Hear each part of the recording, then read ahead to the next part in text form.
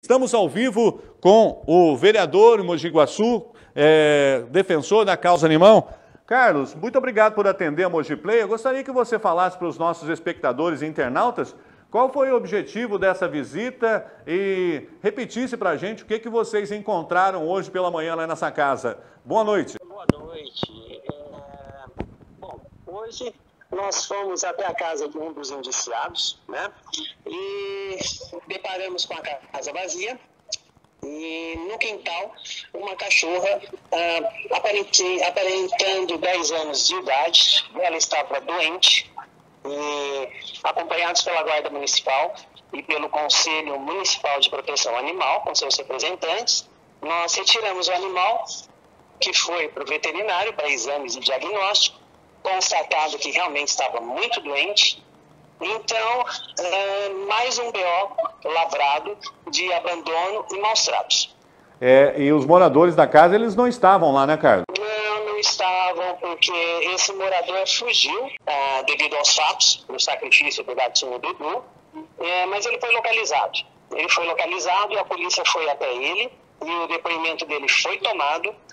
E eu encaminhei a ONG, CAPA, ah, o acompanhamento desse caso. Né? Um advogado já começa a acompanhar ah, para que haja a instauração de inquérito e para que esse caso chegue até o fórum. É, Carlos, o pessoal tem participado com a gente aqui praticamente todo dia, desde que a gente começou a acompanhar o caso do Dudu. E ontem mesmo, alguns espectadores diziam: vocês vão continuar acompanhando, não deixa esse caso morrer, não deixa isso passar desapercebido. Porque é importante, né, Carlos, até para que situações como essa não voltem a acontecer é, em Mogi Guaçu, lá no, na região do Santa Cruz, do IP Amarelo, do Imperial, né, Carlos? Nós queremos usar esse caso para que sirva de exemplo porque já aconteceram casos no passado, tipo, eu não me lembro exatamente a data, mas há uns dois anos atrás, em que um gatinho também na periferia aqui de Mogi Guaçu foi decapitado, né? A pessoa até então aparentava ter transtornos mentais, tal, então teve todo uma, um envolvimento complexo aí, é, social nessa história. Mas dessa vez não, são pessoas que não conhecem nem o que estão fazendo, né? E repente foram fazer um ritual absurdo, ridículo, incabível, né, no, no século XXI e, e, fora de todos os parâmetros da normalidade. Né? Então, nós temos leis municipal, estadual e federal. E nós vamos utilizar dessas ferramentas para que esse caso seja realmente exemplo.